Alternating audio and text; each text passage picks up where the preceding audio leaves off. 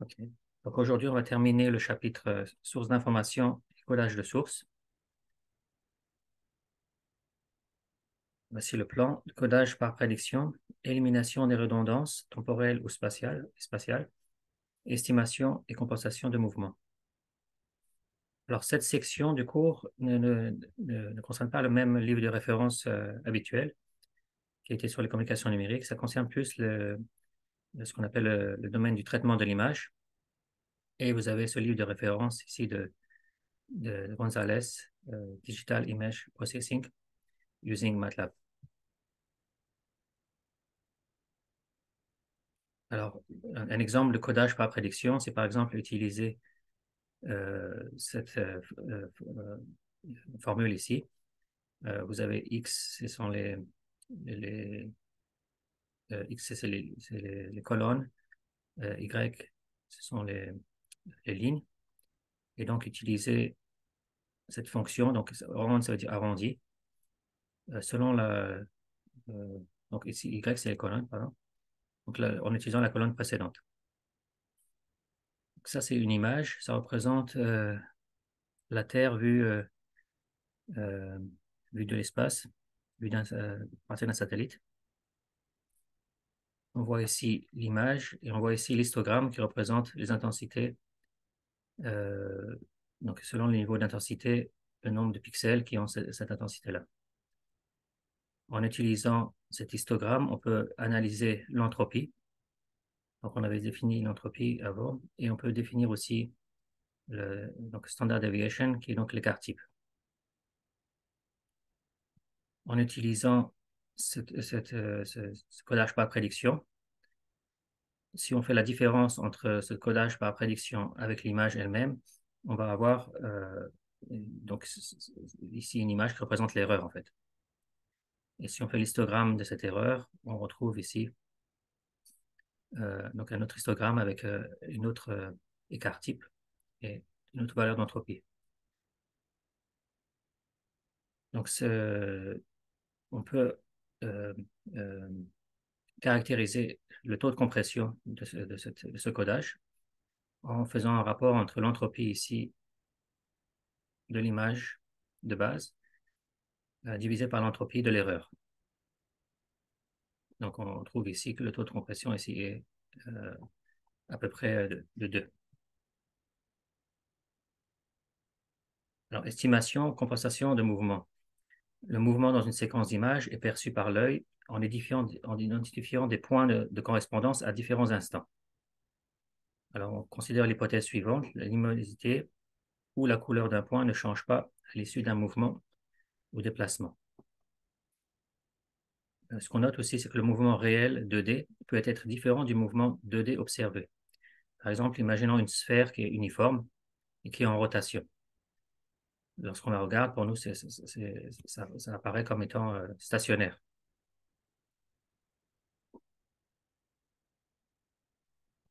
Le mouvement apparent 2D est appelé flux optique. Il dépend, du mouvement des objets dans la scène du mouvement de la caméra et des variations des conditions d'illumination.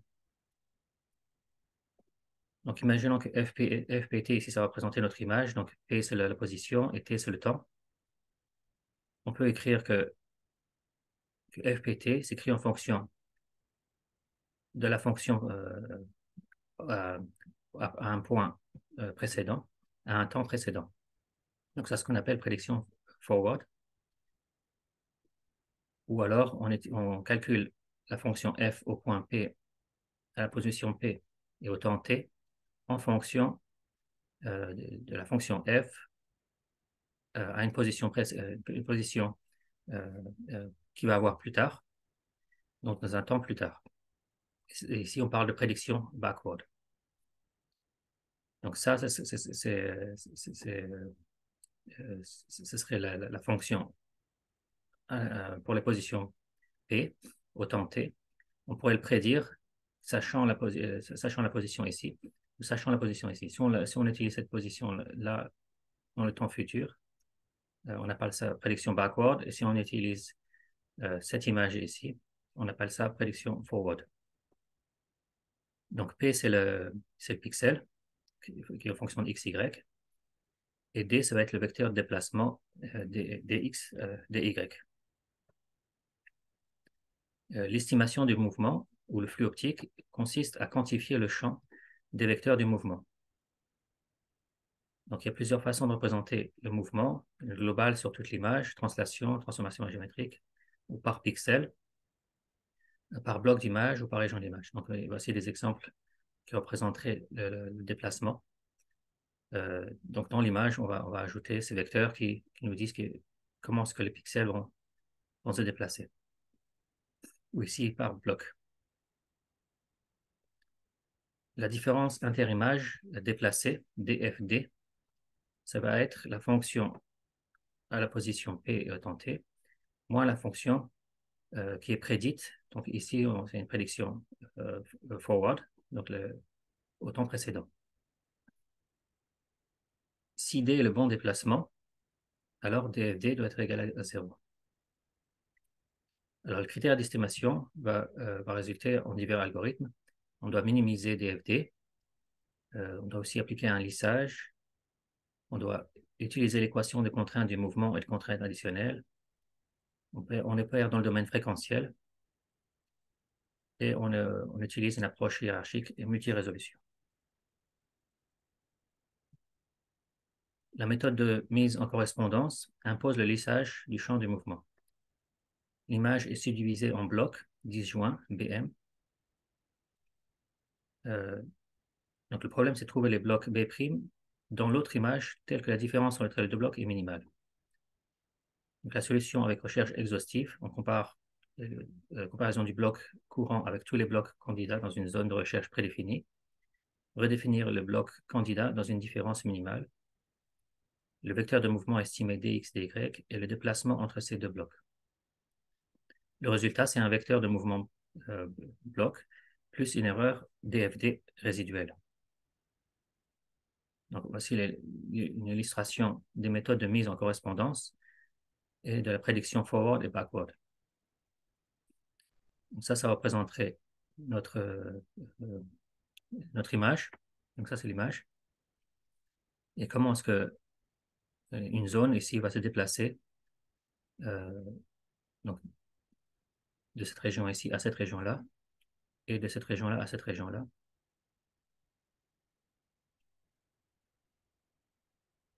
Donc, euh, non, en fait, c'est pas non, c'est de cette région-là à cette région-là et cette région-là à cette région-là.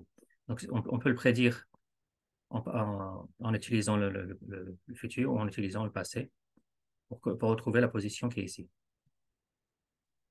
Et ce, ce, donc ce vecteur de mouvement, c'est ce qu'on appelle ici donc motion, vector, c'est le vecteur de mouvement qu'on peut euh, essayer de prédire.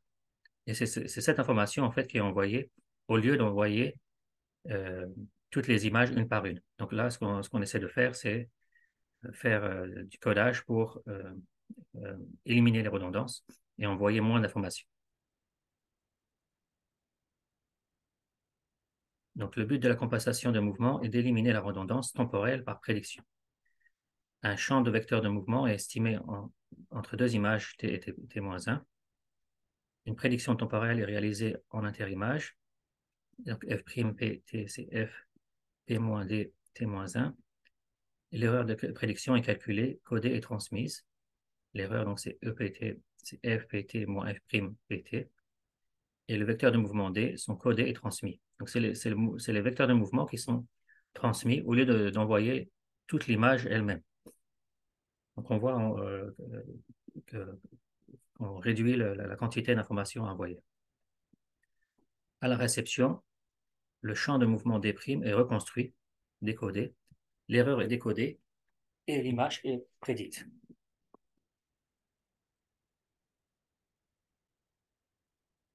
Alors voici un exemple. Euh, ça, ça représente euh, la même chose. Donc une image, euh, une photo de la Terre à partir d'un satellite. ça, donc il y a une différence de, de temps entre ces deux images. C'est ce qui est indiqué ici. Euh, il y a 13 euh, euh, frames différence entre ces deux-là.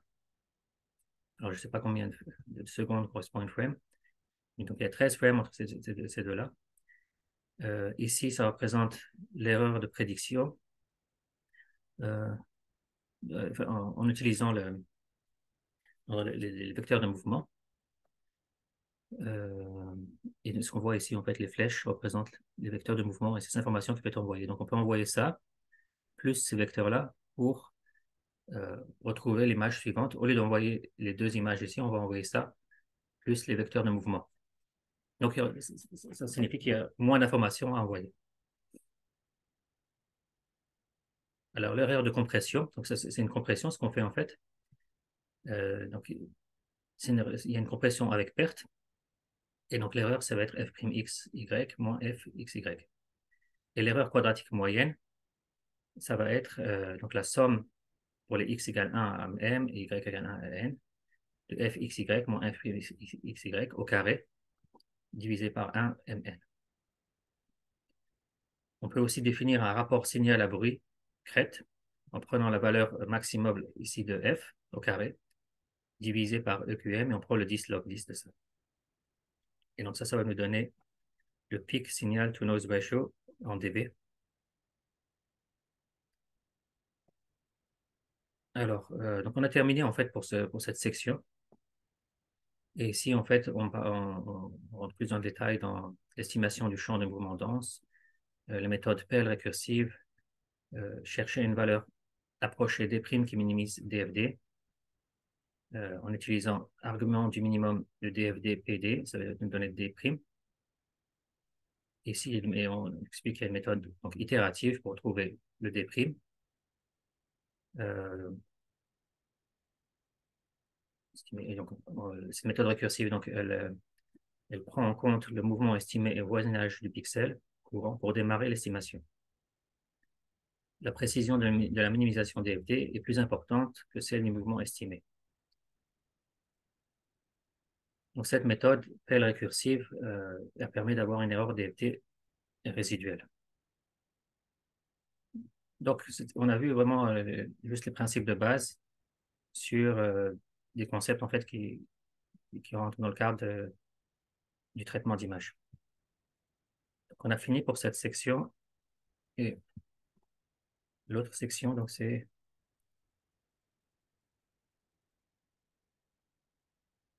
les normes de codage.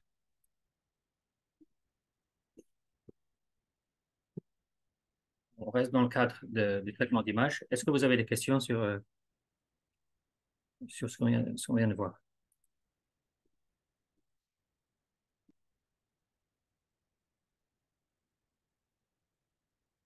Ok, si n'y a pas de questions, on va parler des normes de codage. On va parler de codage par transformé. Euh, on utilise essentiellement la transformée en cosinus discrète, donc euh, discrète euh, cosinus transform et on va parler du standard JPEG. Donc la référence ici, c'est aussi le même livre que précédemment. Donc le diagramme fonctionnel d'un système de codage point transformé. Donc l'exemple de transformé, on peut utiliser DST, donc on, va en parler tout à l'heure, ou ondelet, transformé par ondelet, ou d'autres transformés. Donc le principe, c'est qu'on a une certaine image, on va construire, des sous-images n fois m. On va faire une transformée ici. Quantisation. Euh, donc le, codage ici de des symboles. On a à la fin une image qui est compressée. Cette image compressée, on peut l'envoyer, donc transmettre dans un, canal de transmission. Et on va le recevoir ici à la réception. On va décoder les symboles. On va faire la, transformation inverse. Et on va euh, euh, euh, combiner donc tous les, on va reconstruire notre image à partir de ces images et on obtient notre image décompressée. Donc ça, c'est le principe de, codage par euh, transformé. Alors, la transformée en cosinus discrète, donc DCT, donc on connaît la transformée Fourier discrète. Dans la transformée de Fourier discrète, on utilise un exponentiel complexe ce qui fait que les coefficients sont complexes. Par contre, dans la DCT, la transformée en cosinus discrète, les coefficients sont réels. Et donc, c'est ce qu'on utilise pour l'image. Donc, l'image, elle est divisée en blocs euh, carrés, par exemple ici 8 x 8 pixels. Et on va faire notre transformé pour retrouver en données, les, informations en données fréquentielles. Donc, on passe de fxy à fuv, ici. Et u et v, donc ça va être les fréquences, euh, donc, la fréquence pour l'axe x et la fréquence pour l'axe y. Donc, la transformée en cosinus euh, discrète est définie ici. Donc, la somme pour les x égale 0 à n-1, y égale 0 à n-1, fxy, cosinus euh, pi u sur 2n de x plus 1, etc. Et donc, ça va nous donner fuv. On peut faire aussi la transformée en cosinus discrète inverse. C'est ce qu'on doit utiliser à la réception. Donc, on avait dit qu'on devait faire une transformée ici euh, avant de faire l'émission. À la réception, ici, on va faire une transformée inverse? Donc la transformée inverse pour le euh, DCT. Et euh, donc il faut juste reprendre. Euh, c'est comme la, transformée de Fourier discrète, mais sauf qu'on a des cosinus au lieu d'avoir des exponentiels. donc ici c'est les coefficients. Donc je vais passer ça. Donc le calcul DCT sur un bloc de n fois n en temps de gris, par exemple. Donc là, on imaginons qu'on n'a pas de couleur va être décomposé en n fois n coefficients fréquentiels. Donc, c'est ce qu'on voit ici. On va avoir un qui va être euh, le DC. Donc, c'est uniforme. On a la valeur, la même chose partout. Et donc, si on a n fois n total, on va avoir n carré moins 1, comme celui-là, qui vont être des, euh, des, des coefficients AC. Donc, c'est ce qu'on voit ici. Donc chacun correspond à l'importance de la présence d'un motif fréquentiel dans le bloc. Donc notre image peut être décomposée euh, en, coefficients de ces, images qui sont ici. Donc c'est la même chose que, ce qu'on voit dans la transformée de Fourier euh, discrète, euh, excepté ici, on utilise la transformée cosinus discrète. F00, donc c'est le coefficient DC et correspond aux deux fréquences U égale 0, V0. Les fréquences augmentent du haut vers le bas et de la gauche vers la droite. Euh, chaque motif de la figure est une image 4x4 représentant une fonction de base DCT 4x4 et obtenue par, en utilisant la formule euh, suivante pour les coefficients. Alors voici un exemple. On a ici 8 x 8 pixels. Ça, ça représenterait une image en ton de gris. Euh, et donc, elle peut être décomposée en coefficient DCT. Alors, qu'est-ce qu'on a fait ici? On a soustrait, donc ça, c'est euh, le fait de soustraire ici par 128, donc on, est en train de suivre la norme JPEG. Donc, on, on commence d'abord par enlever 628. On se retrouve avec ces valeurs-là. Et ensuite, si on fait le DCT de cette image, on obtient cette valeur-là. L'intérêt de faire ça, c'est que les choses qui sont, euh, les, hautes fréquences en général, c'est plus rare dans une image. Et aussi, ils ont moins d'effets visuels. Donc, euh, à partir de, certaines fréquences, ça devient euh, visuellement, si on les a enlevées, disons, ça n'aura pas d'effet important visuellement. D'où l'intérêt. On pourrait donc passer, on peut passer dans le domaine fréquentiel ici, on pourrait annuler toutes les valeurs ici qui sont faibles. Et si on repassait dans le domaine euh, euh, spatial, l'image, en fait, on ne verrait pas euh, beaucoup de différence visuellement. Donc, ce qui signifie qu'en fait, on va envoyer beaucoup moins d'informations. Au lieu d'envoyer 8 fois 4 valeurs, on va envoyer beaucoup moins de valeurs on va transmettre beaucoup moins de valeur. Donc, on, va on a compressé notre image.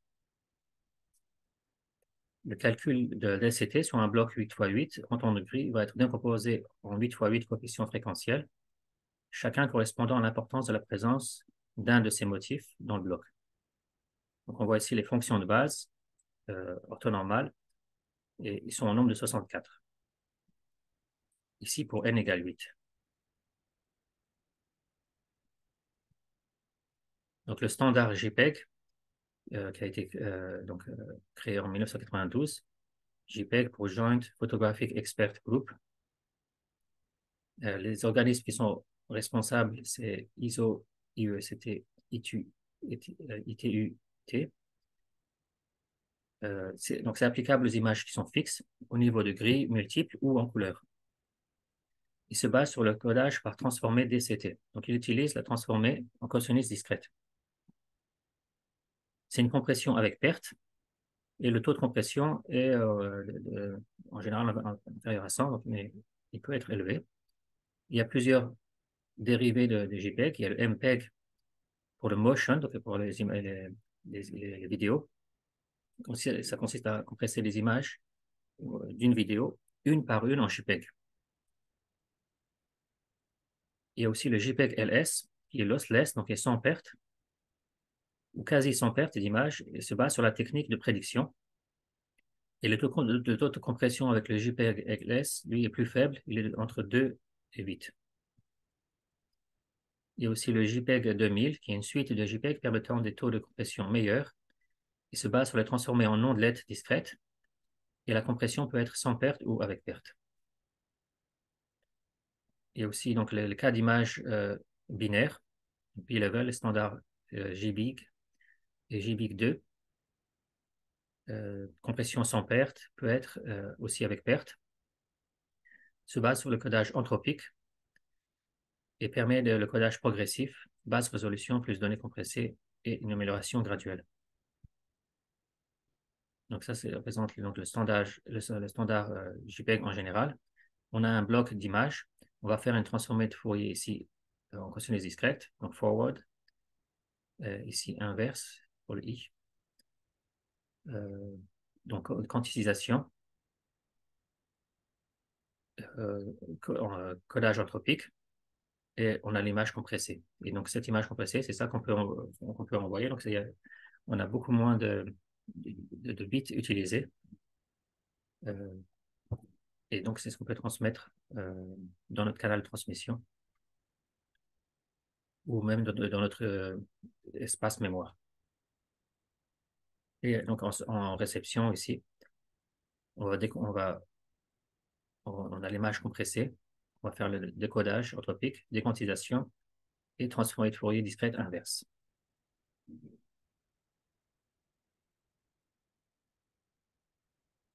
Donc après la transformée de Fourier discrète inverse, on retrouve notre image ici reconstruite.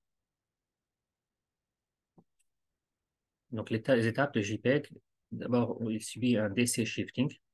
Euh, on, retire une valeur euh, ici euh, constante, donc c'est un DC shifting. L'image est divisée en blocs de 8 par 8. Et on fait DCT pour chaque bloc de 8 par 8 un grand nombre de coefficients DCT qui sont à amplitude faible, comme on avait vu tout à l'heure, c'est surtout pour les fréquences élevées.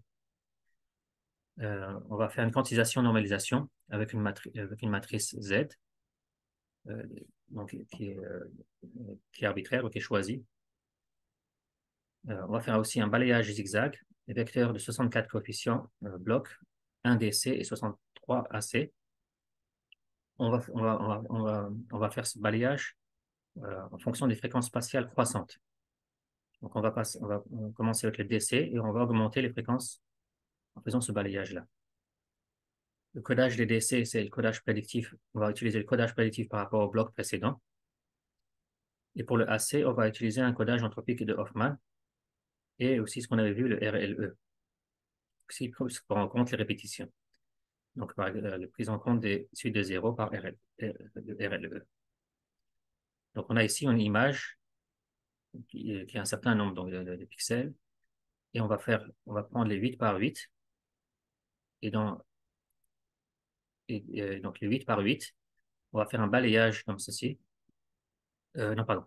La première étape, c'est les zigzags, c'est euh, après. Donc, c'est d'abord, on a l'image 8 par 8 ici. On fait la DCT, on, fait, on enlève le, 628, euh, donc on fait un DC shifting et on fait la DCT. Donc la DCT, c'est ce qu'on obtient. Euh, donc je pense que ces deux-là sont des DCT. Et ensuite, on fait un zigzag ici, des fréquences euh, basses aux fréquences hautes. Donc c'est ce qu'on voit ici. ici, les, les, valeurs vont être envoyées comme, ceci. Donc, ça va être là, ici le premier, euh, euh, disons, euh, le premier bit envoyé, représenter cette valeur-là. Puis, on va, on va faire ce balayage-là. Donc, voici un exemple. Compression d'un bloc de 8 x 8. Donc, ici, c'est le bloc original. Ici, c'est après, après avoir fait le DC shifting. Ensuite, il y a la, transformée DCT, ce qu'on voit ici. Ensuite, il y a euh, euh, le, DCT, le bloc ici est quantifié. Une fois qu'il est quantifié, on voit ici qu'il y a plein de zéros. ce sont les fréquences élevées. Donc, comme je disais, c'est les fréquences euh, élevées sont moins visibles pour l'être humain. Donc, ce qui signifie qu'on va envoyer essentiellement ces valeurs qui sont là. Et tous les euros là, on va les coder avec le RLE. Donc, par exemple, c'est ce qu'on voit ici. Euh, donc, le, bloc TUV va parcourir en zigzag, les vecteurs de 64 coefficients en plus, au plus. Le code EOB indique une suite de zéros jusqu'à la fin du bloc. Donc, on va envoyer ici. Donc, si on fait, euh, si on fait le, le, balayage en zigzag, donc c'est moins 26 en premier, ensuite c'est moins 3, ensuite c'est 1, je pense, c'est ça, moins 3, 1, etc. Et ensuite, ici, on va finir par EOB. Donc, ce qu'on va envoyer, c'est juste ça. EOB, ça signifie qu'il n'y a que des zéros après jusqu'à la fin. Donc, le vecteur codé en binaire a un codage Hoffman plus RLE, euh, etc. Donc, là, on voit le codage pour les différentes valeurs, puisque c'est codé en binaire. Le 26, donc c'est cette valeur-là, etc. Donc, si on, compte le, nombre de bits qui est requis ici, on voit qu'on a besoin de 92 bits qui sont requis. Et si on avait envoyé notre image sans rien faire, euh, ces valeurs-là, il aurait fallu 512 bits. Et donc, on a un taux de compression ici de 5.6. 512 divisé par 92, 5.6. Donc, l'image, au lieu d'envoyer toutes ces valeurs qui sont là, on envoie en fait ces valeurs-là. Et ces valeurs-là, on, peut même minimiser, puisqu'il y a beaucoup de zéros, on utilise le EOB ici, donc on envoie beaucoup moins de bits. pour la décompression, donc on, a, on a, notre image ici qui est, euh, qui, qui, est DCT. Donc on va faire une, dénormalisation. Euh, une fois qu'on a fait la dénormalisation ici, on va faire la DCT inverse. Puis on va refaire le DC shifting inverse et on obtient notre image. Si on fait une différence entre l'image ici qui, euh, qui est reçue par rapport à l'image qui était de départ, on obtient les valeurs qui sont ici. Donc, on voit, en fait que donc, la perte est essentiellement due à la quantification. Ce n'est pas dû à DCT. DCT sert pas de perte, c'est vraiment la quantification On voit ici que les erreurs sont entre moins 14 et plus 11. Et si on fait une, analyse de l'erreur quadratique moyenne, on fait la première racine carrée, on obtient 5.8. Euh, on voit ici un autre exemple euh, selon le taux de, compression. Euh, donc ici, pour ces différentes images là, jusqu'à celle-ci, le taux de compression augmente. Et donc si à partir d'un moment, l'image devient beaucoup moins visible en fait.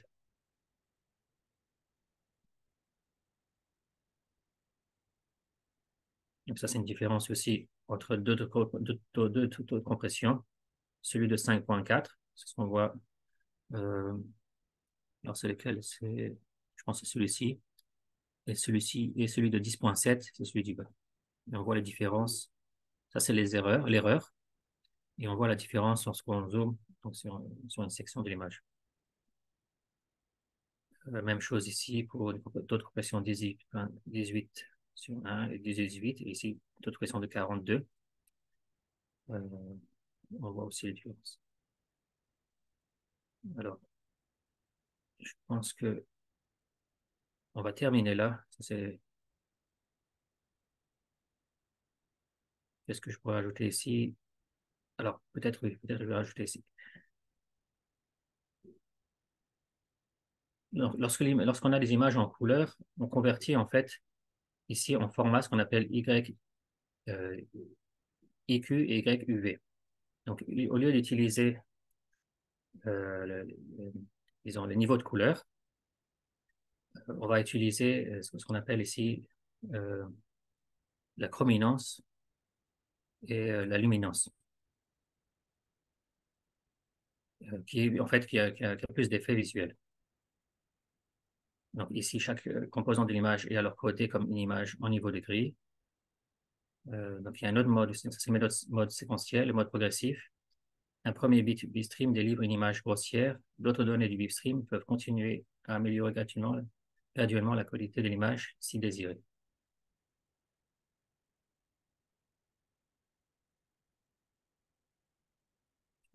OK. Je pense qu'on peut terminer ici. Pour la partie, donc on a, on a, on a essentiellement parlé de, du JPEG, de la transformer en cosinus discrète.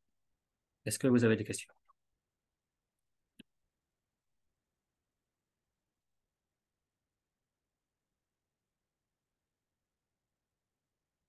C'est bon, on est toujours à Euh, pardon? Il n'y a pas de questions? Oui, c'est bon, monsieur. OK. Alors, je vais